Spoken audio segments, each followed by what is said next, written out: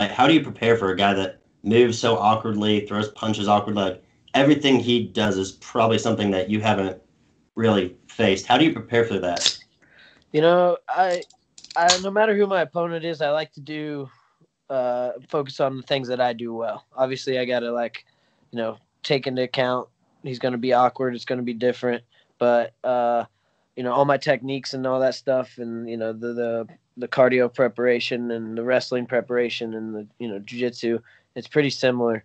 Um, but you know, I'm already drilling. You know, certain things. Like I posted a video today, of kicking the kicking the legs. That's uh that's no yeah. secret against Cruz. So uh, kind of make a you know a little statement there uh, with that. But uh, you know, we watch his videos, um, and I'll continue to watch him a little bit. I'm not big on watching film, you know, my coaches will, but uh, just really being patient and you know, uh, kind of doing the things I do well, but you know, letting him come at me a little bit. You know, Cruz is good at counter punching and making you miss and taking you down.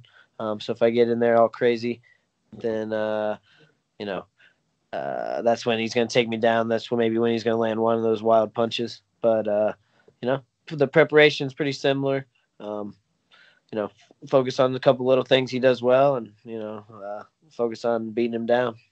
Yeah, I'm glad you said about the leg kicks because I was gonna say something about that. Then I was like, I can't say anything. You think he doesn't know? Well, I know, I know, but I just to talk about, it, I was like, I just got tired of doing fucking jumping jacks earlier, so I'm not gonna tell you anything, but yeah, it seems like his last few fights, there's been kind of like a blueprint, like uh, with the leg kicks that uh, seem to be more effective on him than I don't know. Yeah. Yeah, yeah, you know, yeah, exactly. Right, yeah.